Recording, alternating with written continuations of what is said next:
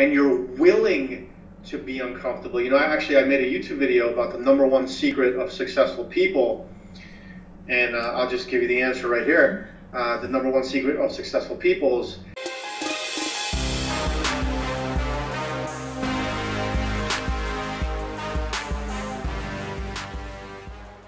Right, for those of you who made it past point A, uh, welcome to point B. Congratulations. yeah, remind us, we'll send you a cookie.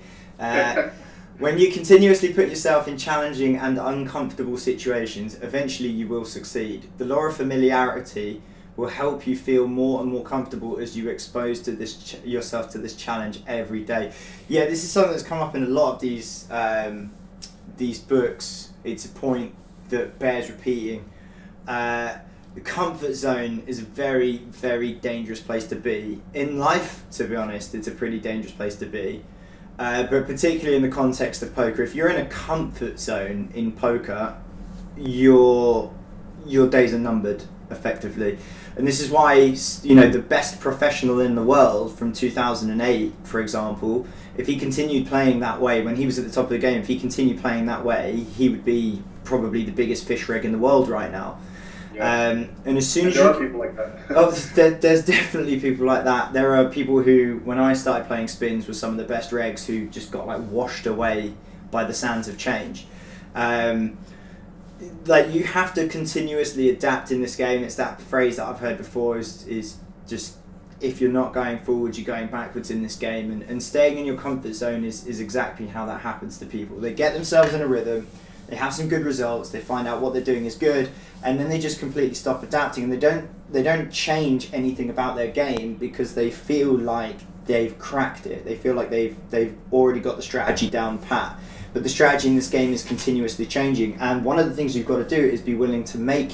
I know that we said you can't rid yourself of your style, but you must continue to add and make changes to your game, and push yourself outside of your comfort zone. And I'm going to give a very brief example of. of um, of of something that you need to add to your game, for example, that pushes you outside your comfort zone. One thing that we've done in my group sessions for the last two weeks is explore donking in a lot of spots against Mm. fish.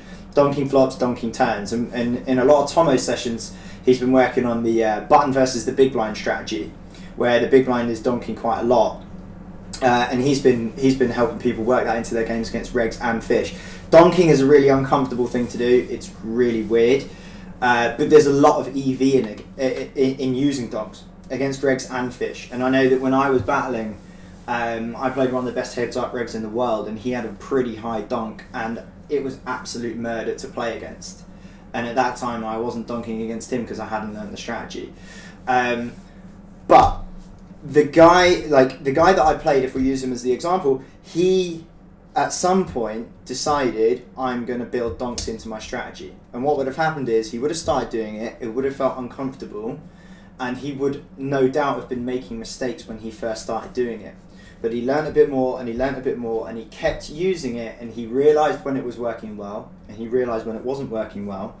And when he started to eliminate situ- situations that weren't working well, no doubt it made a big improvement on his EV. So he broke through the comfort barrier, suffered through the uncomfortable period where he didn't really know uh, how to use it effectively, and he worked and he worked to the point where he got it to a comfortable place again and his EV increased. And that's how the best players get to the top of the game is that they consistently break through that uncomfortable zone and that, that sort of place of uncertainty.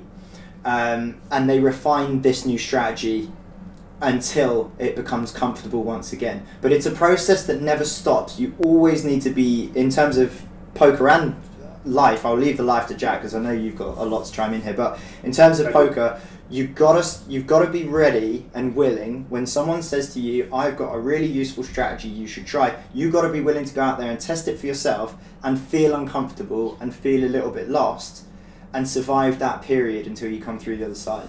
Jack, I know you've probably got all the. Uh, when you're when you're when you're growing, um, it's always uncomfortable. All right. So there's a book. It's called um, uh, "So Good They Can't Ignore You," and in this book, it talks about deliberate practice, which means like let's say studying in solvers or reviewing hands. Um, and it talks about why most people don't do deliberate practice. Like they don't want to spend, you know, 30 minutes in, in a GTO per day or an hour or whatever. And most people don't want to do it because it's so uncomfortable. Okay? And your brain gets tired and your brain is exhausted. It's not as comfortable as sitting on a couch and watching, you know, Game of Thrones, right? Uh, just like going to the gym is not as comfortable, like lifting weights or really heavy weights is not as comfortable as sitting on, on the couch and, and watching TV. Um, but if you want to grow your body, you go to the gym and you lift heavy weights. If you want to grow your mind, specifically in poker, um, you're going to have to lift heavy weights, which is, you know, in this case, uh, Insta GTO or, or GTO work. And you're going to have to lift those weights. And it's not going to be, sometimes it's not going to be fun. Uh, it's going to feel uncomfortable. Your brain is going to, you might feel exhausted. You might even feel anxiety. Um, those feelings are going to come. And what it says is that um, the best way you really want to combat that is don't overwhelm yourself. Like do, uh, let's say if like uh, your uncomfortable point is like after 15 minutes of study, you get really uncomfortable. Um, just do 15 minutes per day, and then like slowly push it, um, slowly push it to the point where your comfort zone ex- expanded. Like you're you're able to study more time now, and you're slowly doing that in an incremental kind of way. Uh, and I can use the same example for myself quickly with public speaking. Right when I when I first started public speaking I, I was scared to you know stand up and, and, and say my name in front of people or, or, or, introduce myself. And then now I'm doing improv shows uh, with like 50 people. So like you you slowly get to that point where you push past the discomfort. You push, you push, you push, you push, and then eventually it becomes more comfortable.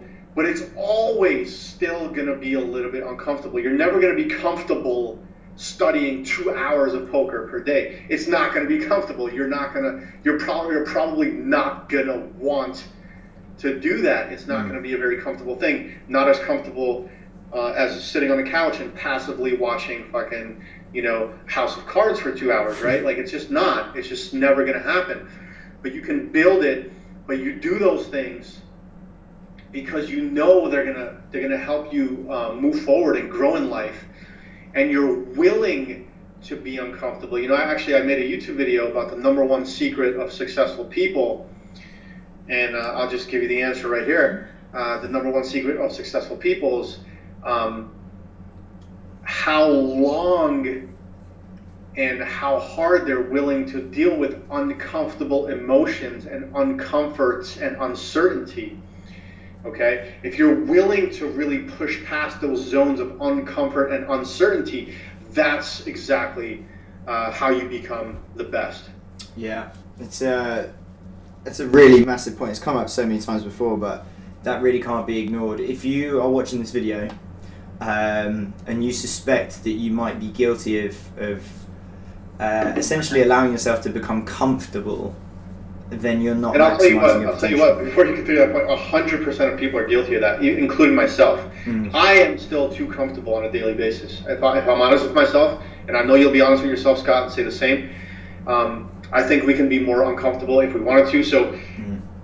This is not to who feels that way. It's 100% of people that are watching this are probably living too comfortably, to be quite honest. Yeah, probably probably true, and everybody should review their own levels of comfort. But if you find yourself, particularly if you find yourself in a stagnant situation, if you think that you're in a rut poker wise, uh, it might be because you're not making. Well, essentially, you're not pushing through the comfort barrier and making adequate changes to your game. So it's definitely worth considering. Um, I'll specifically, like, before we head on to the next one, we'll go to the next one in a second. I'll specifically um, talk about anybody that's playing less than $100 spins at this point. If you're playing less than $100 spins at this point, let's say you're watching this video, you're at you're at um you know 20s, 30s, uh, 50s. Um, you're probably got lost in comfort somewhere. Mm. Okay, because when you when you enter poker and you're playing spin and goes, and there's nothing stopping you from moving up besides your own work ethic and your results. Um, I think you can take a long, hard look in the mirror and say, you know what? I could be doing a lot more than what I'm doing right now. I could be improving a lot more. And all of us know how to improve. We know. Spend hours in the solver, spend hours studying Vimeo videos, spend out like just nonstop be growing your mind and then implementing things that you learn take notes like we all know the exact process of getting better Yeah. so why don't we do it? That's the real question. And it's really interesting. I was watching one of my favorite youtubers the other day. He says um, you know somebody like everyone knows how to lose weight. Lose weight is the biggest example right? Because Mm. like there's so many overweight people in this world. Everyone knows how to lose weight so why don't they do it? Yeah. isn't that the real question? He goes he goes it's funny. We were at a restaurant the other day everybody knows if we order dessert it's probably not that healthy Mm-hmm. so why would we do it Mm. but we know what to do, but we do the opposite. So where is this disconnect coming from? Is Yeah. the interesting question. And the disconnect is coming from a lack of discipline and also not wanting to be uncomfortable, Mm. Yeah. right? We, we have this desire for comfort. Like we just want to be comfortable. We want to be happy, and we think that um, being comfortable is the way to do it.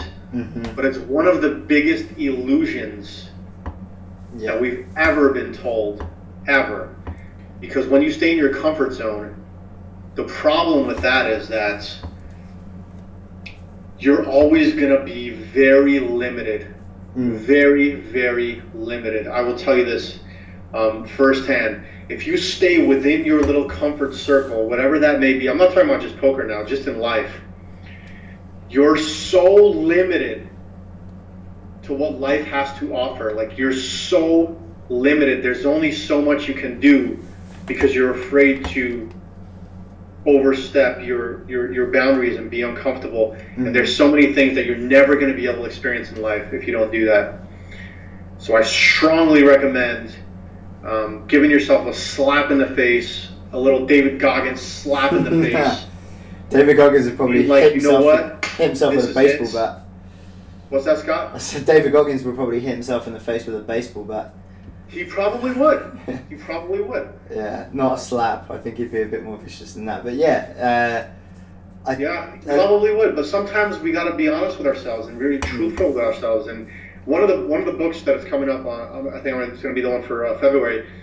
Um, it's going to go deep into this topic right now about like being honest with yourself, just being truthful with yourself about where you're at and about how much of your potential are you actually reaching in poker and in life, and can you do more, and why haven't you been doing more, and and what are you going to do to change it, right? I just Okay, let's let's, let's go to the next one just, here. just before we, quickly uh, before that one, just yeah. another thing, just just to chew on. The being truthful with yourself is super applicable to poker. We all have runs where we say this guy runs so good, or I always run bad at this spot, or something like that. Challenge Mm. those things that you say to yourself. I have to do it all the time. I'm I'm a classic for that. I'm a classic one for bemoaning my luck and not being entirely truthful with myself. And sometimes I'll say out loud like, "Oh, this this motherfucker ran so good against me," and then I'm in the shower after the grind and I'm like, "I don't think I played particularly well there," and I'm thinking it, but it's like I can feel the resistance, you know. Like I'm Yeah. just, when I when I have an honest moment where I have to admit to myself that I didn't play well or I made a mistake, there's resistance. There's massive resistance, and like like on a subconscious, on a natural level, I just want to blame external forces and spare myself the pain of admitting that I was incompetent in any given because It situation. hurts you. It hurts It your does. identity. It does, big time. It hurts your identity. You're, you're, you're in your mind. You're Scott Wobblepig. You know the best fish player in the world, one of the best rec players in the world. So if you make a mistake, like it really hurts. Yeah. And the key, the key is like this. There's like a really fine line here.